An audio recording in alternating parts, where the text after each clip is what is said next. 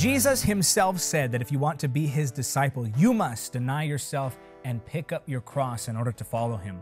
The cross represents self denial. The cross represents pain. The cross represents discomfort. And Christ has called us to fully embrace the cross. You know, in this age, people are running from sacrifice, they are running toward comfort. They are running toward pleasure. They are running toward whatever elevates self, but Jesus has called us to the opposite. He said that if you want to follow Him, I mean truly follow Him, then there will be points in your life where you will have to sacrifice things. And I use that word sacrifice with reservation because really, when it comes to giving things to God, there is no such thing as sacrifice. For everything that I give to Him, He returns to me 100 fold. So, though there is suffering, though there is pain, really the only one who ever made a sacrifice was Jesus. But He has called us nonetheless to embrace the cross, to embrace self denial the comfort Christianity, the prosperity Christianity, that has to be removed from your mind if you ever want the power of the Holy Spirit on your life. Let me tell you something. The reason there is no power in the church today is because the message of the cross has been removed. People seek the elevation of self. People seek the promotion of their dreams. People seek the celebration of ego when they should be seeking the cross, when they should be seeking the death of self. I want to talk to you today about something that is rarely discussed anymore, and that is the cross of Jesus. You know, if you truly want to be his disciple, if you truly want to follow him, if you truly want to be counted as one whom God can use with power, I'm talking with real power, then you have to come to the place where you say, Lord, whatever the price, whatever the cost, I'm willing to pay it. Crucify my flesh, Lord. Remove self from me and let my life be spent for your glory. I'm talking about the cross. Now, Steven Moctezuma is here with me as usual. He's going to lead you in worship, and then we're going to get right back into this message. I want to challenge you today. I want to challenge you where you are in your faith. I want to challenge you to do more for God. Here is Steven Moctezuma. Let your glory fill this house. Let your praises fill our mouth. Let each vessel offer up to you the sacrifice of praise. For you alone are holy. For you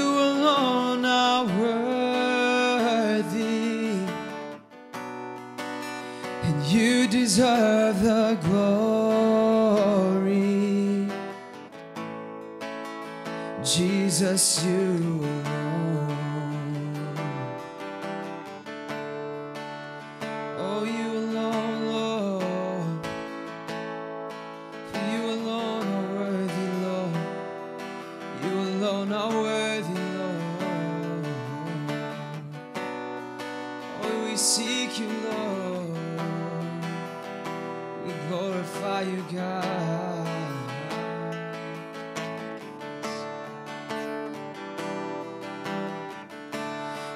let your glory fill this house.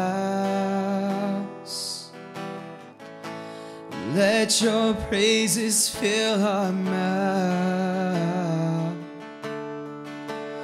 Let each vessel offer up to you the sacrifice of praise.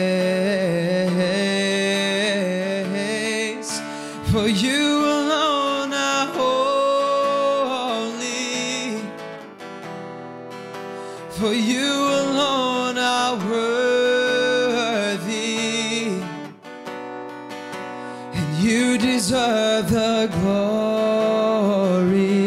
Oh, Jesus, you alone. For you alone are holy. For you alone are worthy,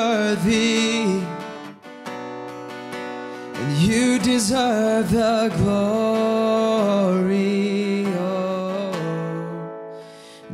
Jesus, you alone.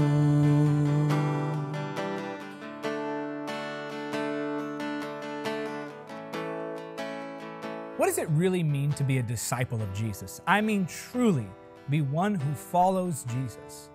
Well, Jesus made it very clear, and we're going to read that in a moment, that in order to follow him and to be his disciple, you must embrace the cross. Now, the cross represents a place of pain, the cross represents suffering, the cross represents self denial.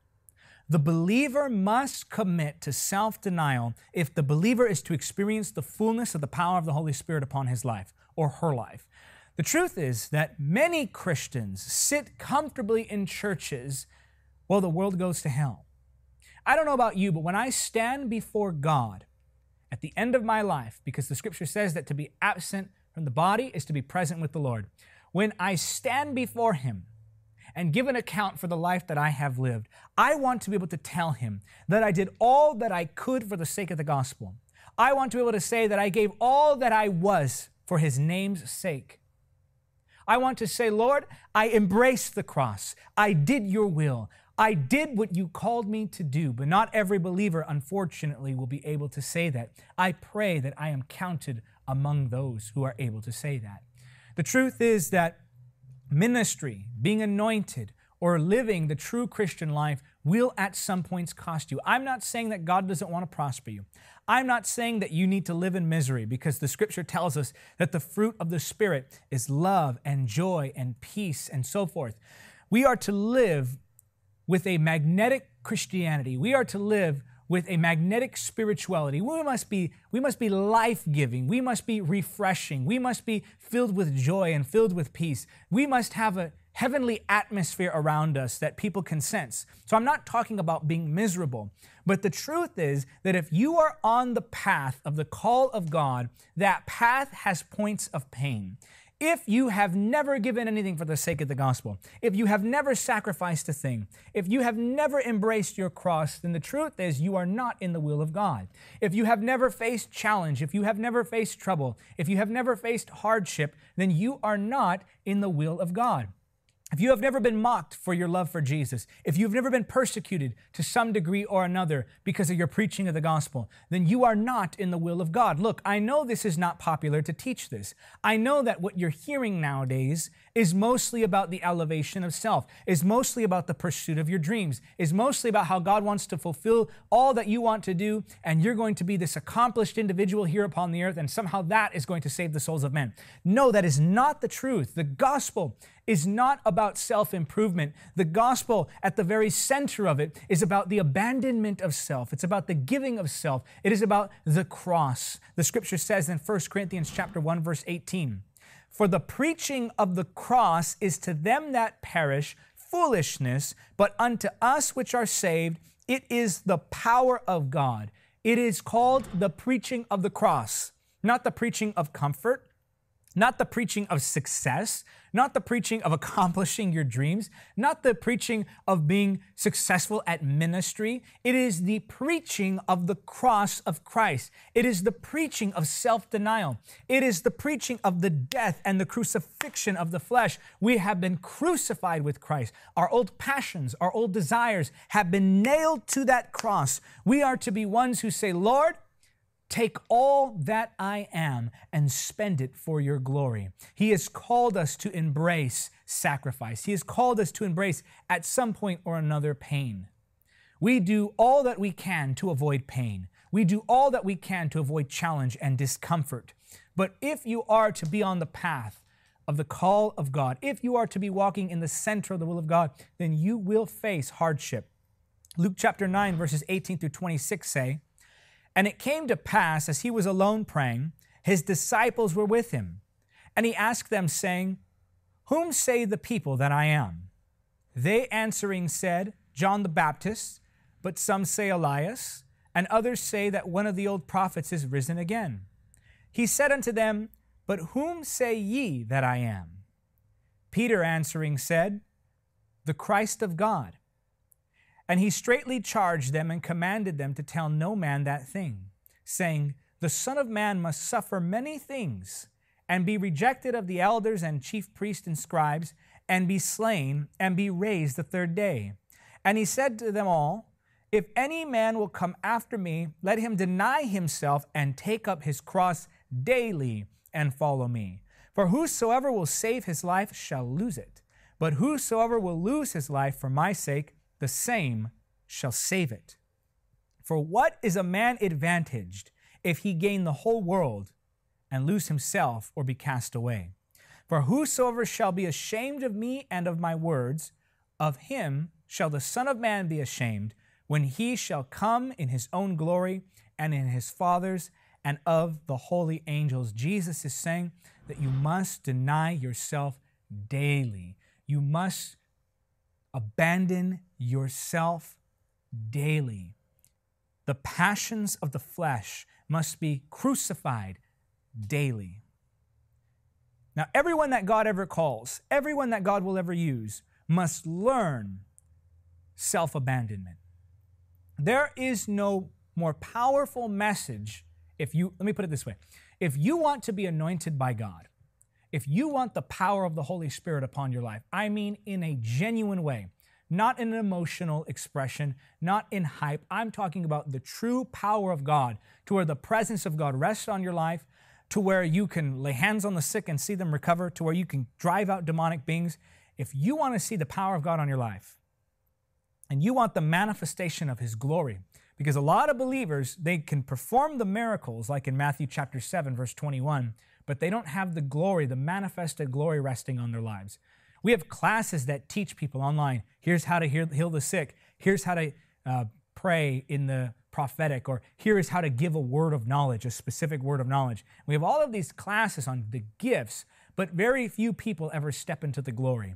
And the reason for that is because very few people like the idea that we must embrace the cross. And I'm not even saying I necessarily like the idea, but we must embrace the cross if we are to walk in true power. We must embrace the cross if we are to truly be used of God. Anyone that God will ever truly use, anyone that God will ever truly anoint, is one who has lived through the cross, is one who has lived through the season of the cross, we will call it.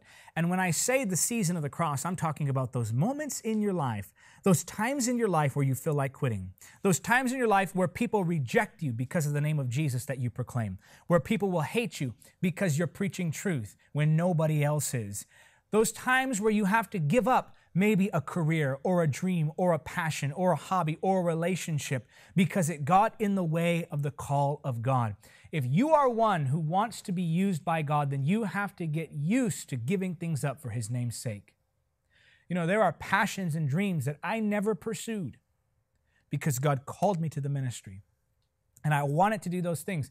I remember when I was around 18 years old, and many of my friends were starting in college and they were going to community colleges, and some were getting into universities, and they were starting to plan their lives and they were starting to take off into their careers and they were looking at all of the career paths they could take. And I remember seeing my friends one by one begin to go to college, begin to start studying. They went to go study trades and they began to start their lives. And I knew what I wanted to do. I wanted to go to college. I wanted to either learn something in the political realm. I wanted to possibly maybe get into television production, which in a way, I, in a funny way, I am to this day into television production. But there were other things that I wanted to do. I possibly wanted to start a business. I wanted to maybe study philosophy. And there were so many areas of life, as far as academics go, that I wanted to study or experience. And I remember just feeling like I was less than because I never went to college or I never got a degree. You know, some people need that. I'm not someone who needs that. But the truth is that I felt left out. I felt rejected. I felt as though I was giving up something that I could never be repaid for. But the truth is, looking back now, it was something so small and insignificant that I was asked to give compared to all that God has given me. Now, if He were to just give me His presence, it would be worth it. We often even compare. We'll say, well, what I have to sacrifice is nothing compared to what the martyrs had to give. And even preachers will rebuke people for this. They'll say they're, they're, they're being crucified, they're being murdered, they're being slain in other parts of the world, and you're over here comfortable in your Christianity.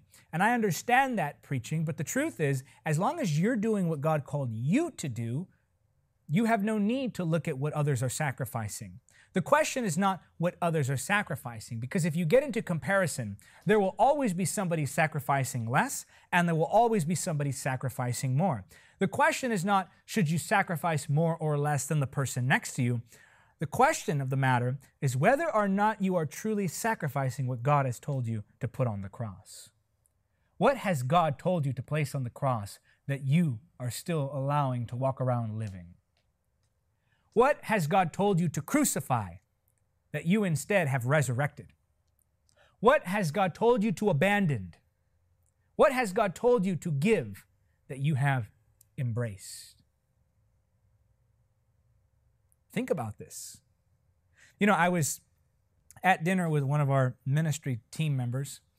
Uh, his name is Ruben Vargas, and sometimes he'll come down uh, to my condo in Long Beach and we'll go drive and maybe go somewhere to eat. But I was taking him to dinner, and we're driving around in Southern California, and we're driving in my car, which is a fairly nice car, and we're driving down Ocean Ocean Boulevard, which is right on the beach, and there are lots of nice houses there, and it was a very nice day. The weather was fine. The everything about that moment was just it was it was really enjoyable.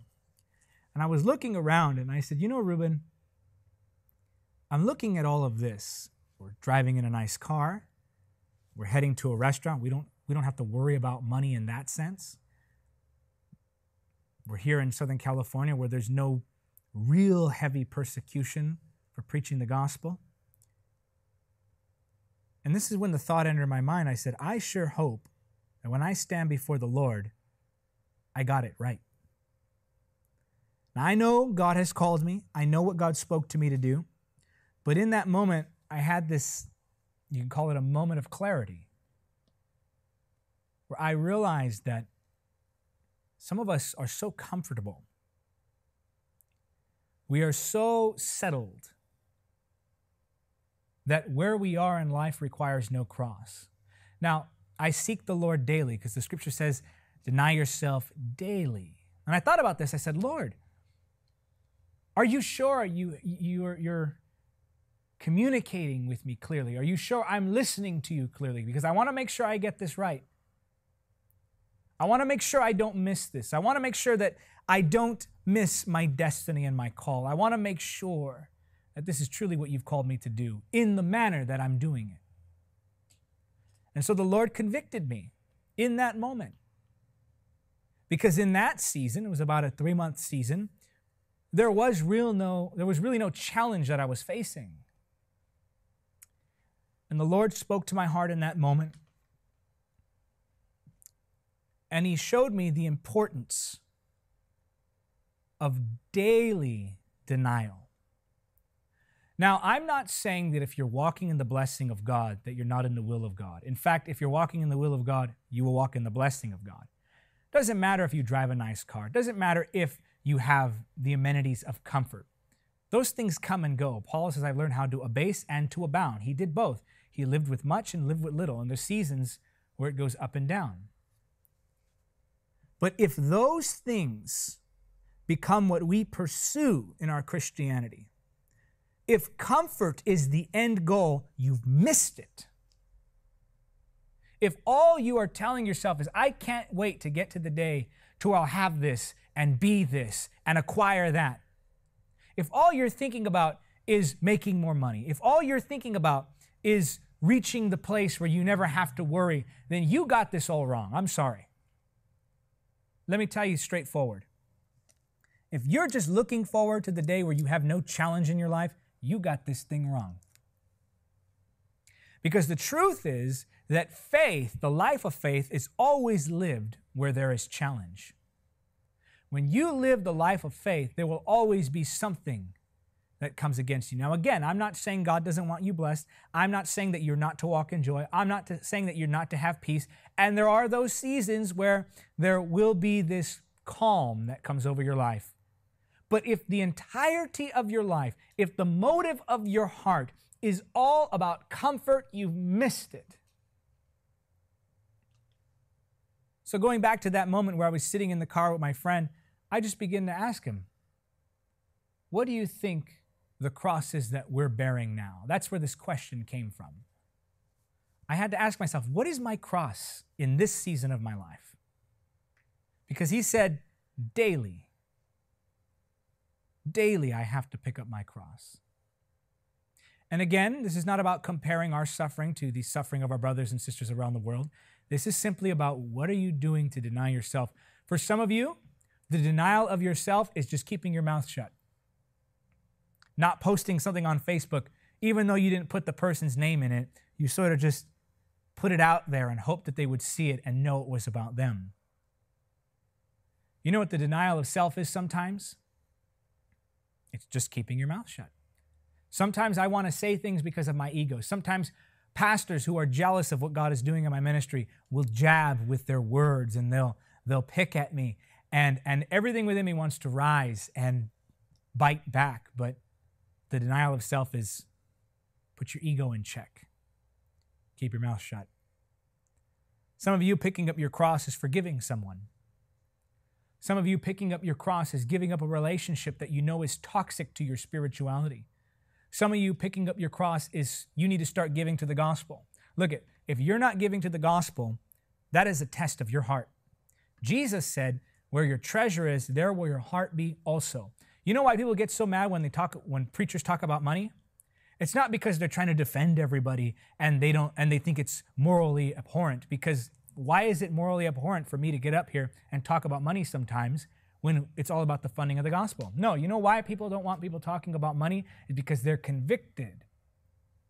And you can be broke and still be greedy. Perhaps the Lord is speaking to you that you need to start giving to the gospel and you won't pick up that cross. Picking up the cross can be stepping out of the way. Maybe there's something that you feel you should be allowed to do and you're trying to push yourself into a position that God never called you to fulfill. And the denial of self, the picking up the cross, is humbly stepping down and saying, Lord, I'm leaving it in your hands because the scripture says that he who exalts himself will be humbled, but he who humbles himself will be exalted. Galatians chapter 6 verse 14 says, "As for me, may I never boast about anything except the cross of our Lord Jesus Christ. Because of that cross, my interest in this world has been crucified, and the world's interest in me has also died. Now, Jesus is our leader. Jesus is our Lord. He is the model of Christianity. He is who we aim to emulate. And the scripture says this about him Philippians chapter 2, verses 5 through 11. You must have the same attitude that Christ Jesus had. Though he was God, he did not think of equality with God as something to cling to. Instead, he gave up his divine privileges. He took the humble position of a slave and was born as a human being. When he appeared in human form, he humbled himself in obedience to God and died a criminal's death on a cross. Therefore, God elevated him to the place of highest honor and gave him the name above all other names, that at the name of Jesus every knee should bow in heaven and on earth and under the earth, and every tongue declare that Jesus Christ is Lord to the glory of the Father. He humbled himself and died a criminal's death upon a cross. If Jesus was willing to humble himself, how much more should we be willing to humble ourselves? So, going back now to that story, and again, that was a moment of clarity for me. I'm not saying I was living in disobedience in that moment. I'm not saying I wasn't living by faith. But in that moment, in that car, with my friend, having that discussion, I made it a point in my mind to ask myself daily, what is my cross today? I pray, Lord, if the day ever came that you required my literal life, my blood, I pray that I would have the grace to give my life. Lord, if the day ever came that you literally required everything from me, as you did from the rich young ruler in Mark chapter 10, I pray that you would give me the grace to give all. But most importantly, Lord, I pray that just today, today, right now, this moment, you help me embrace my cross. My God, we need to get back to preaching the cross. It's the power of the gospel. We need to get back to the place of embracing the cross. Listen, there is a world dying and going to hell. We cannot be so consumed with our comforts that we forget about those who are lost. We must embrace the cross. We must embrace sacrifice. We must say, Here am I, Lord, send me. You know, the thing about the rich young ruler is he came to the Lord and he said, Lord, I've done all these things. I've kept all these commands. And Jesus said, You did well. But what I require of you is that you give up all your riches, sell everything, give it to the poor, and then come and follow me. Now, is it a sin to be wealthy? Of course not. We know that Jesus had a disciple who was wealthy. We know that uh, Solomon was wealthy. We know that many of the patriarchs had wealth. But the point I'm trying to make is that with the rich young ruler, Jesus required of him what was for him that one thing. That one thing to which we so tightly cling. In fear and in the flesh, we say, Lord, I'm not giving this up. That's the one thing he wants. That one thing is what gives us trouble. No more. Jesus cannot be one of many things. Jesus has to be the only thing. He cannot just be the most precious thing. He must be the only thing. He gave his life for us. The cross is a place of exchange. On the cross, there was an exchanging that took place between heaven and earth. On the cross, let me say that again. On the cross, there was a great exchange. On the cross, there was an exchanging between heaven and earth. God took man's sin and gave him Christ's righteousness. He took our pain and He gave us healing. He took our sin, our darkness, our hatred, and He replaced it with His love. He took our emptiness and filled it with His Spirit. He took our sadness and our sorrow and He filled it and in its stead gave us joy. He took our depression and He gave us the joy. He took our heaviness and He gave us the joy, the joy of the Lord. Yes, on that cross, there was a great exchange between heaven and earth. He took all that troubled us in our mind and filled us with his peace. The gospel is simple. Jesus will give you his eternal life in exchange for your temporary one. And we will give our lives and say, Here I am, Lord, take all that I am, and he will give of himself and He will give us all that He is. He is our reward. So let's pray now that we would be people who embrace the cross, that we would be people who would say, Lord, I want all that you have for me. I want all that you have for me, and I will give you all that I am. Come on, let's pray. Father, in Jesus' name, I pray for that one receiving this prayer right now. And I pray, Lord, that they would have the grace to crucify the passions of the flesh upon the cross. Lord, give us the grace by the Holy Spirit to die daily, to embrace our cross, that we might embrace you. I just heard the Holy Spirit speak to me. He said, When you embrace the cross, you embrace Jesus. Lord, let us be those who embrace Jesus. Father, forgive us for our stubbornness and our pride.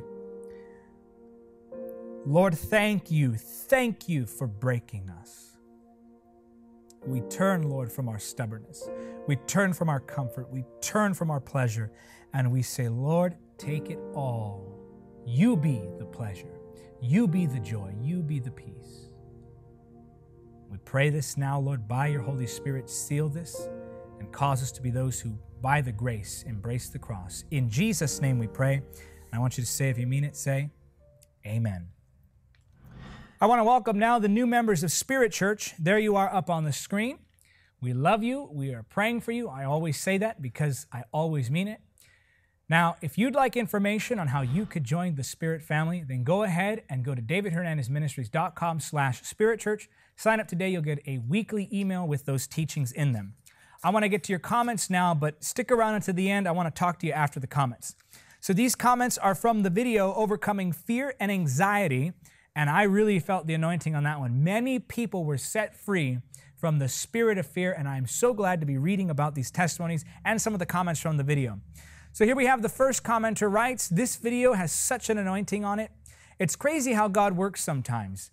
I had been struggling with fear, anxiety, paranoia, etc. for over a year now. Just this last week, I was desperate for the Holy Spirit to move because I felt trapped inside myself. And just before I was about to go to bed, I found this video and had a total revelation. God keeps showing me more and more of His goodness. I am excited to walk in freedom. God bless this ministry. Revival Story Josh writes, I received David's book as a new ETV partner, and thank you for partnering with the ministry.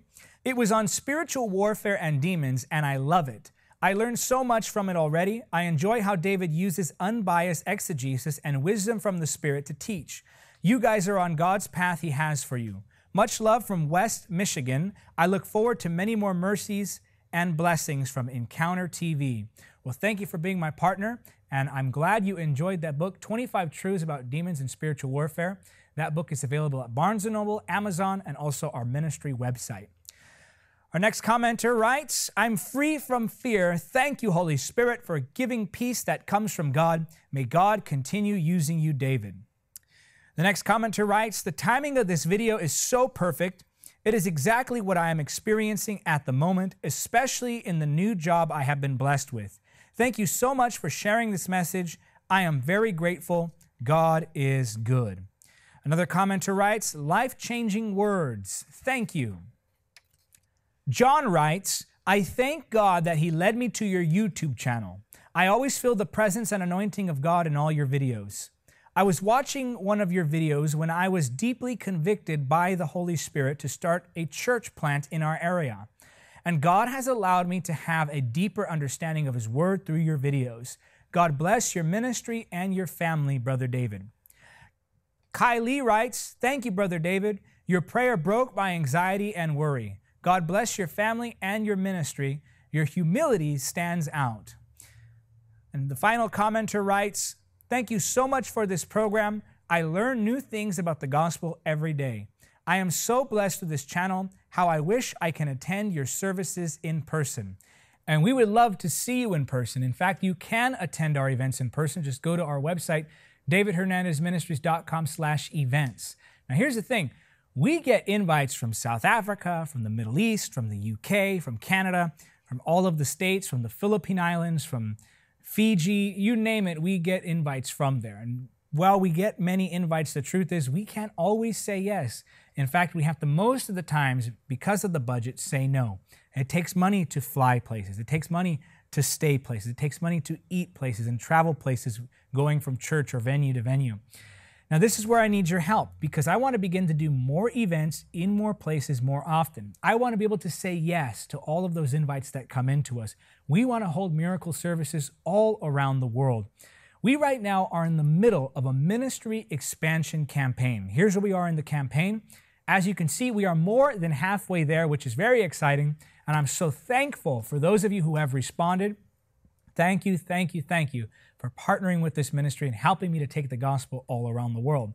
Now, with that ministry expansion, not only comes more traveling, more events, what actually is added to that is also our new facility. Now, here's why the new facility is important. Because many of you also write to us and say, Boy, I would love to attend one of the tapings in person. But the truth is, as we're set up here, this is not really the ideal place to, to bring in people as a studio audience. So in our new facility, we'll be able to accommodate a studio audience. We'll be able to do live broadcast. We'll be able to hold regular Sunday night meetings. We'll be able to even have a 24 7 prayer room, as we've discussed. So, there are a lot of things we're adding to the ministry with this expansion, but most importantly, we're basically taking the gospel all around the world. You watch This ministry is growing. God has anointed it, and you can be a part of what God is doing. Help us reach the lost, help us win souls. We want to win millions to Jesus. It's time to start thinking big. So, what we need from you now is for you to sign up to become a $30 a month partner. Don't wait, don't say somebody else. Look, if you receive from this ministry, if you're blessed by this ministry, I challenge you to give back into it. Partner with me. This is going to be the start of something great. I, I, will be like your ambassador to the nations, and we together will represent Christ. And I'll go all over the world telling people about Jesus and preaching with the power of the Holy Spirit. You know, you don't hear messages like this anymore. You just heard about the cross. When is the last time you heard anybody preach about the cross? When is the last time you heard anybody talk about the power of the Holy Spirit, or talk about the blood of Jesus, or talk about healing, or talk about spiritual warfare? These things are so rare nowadays, and you can be a part of putting this message onto the forefront because there is power in this preaching because it is from the Word of God. So help me do that. Don't wait. At the end of this video, as soon as I'm done talking, there's going to be a link that appears. Sign up to become a $30 a month partner. If you can't sign up to become a $30 a month partner, consider another monthly amount or perhaps even a one time gift and help us finish this campaign. We need less than 400 new $30 a month partners, and that means more events, more expansion, and more souls being saved. In Jesus' name. And if you agree, say amen. Well, that is it for this edition of Spirit Church. Until next time, remember, nothing is impossible with God. Thank you for watching Encounter TV. Don't forget to subscribe. Also, help me win souls by spreading the gospel through events and media. Make a one time donation or become a monthly supporter by clicking on the donate link now.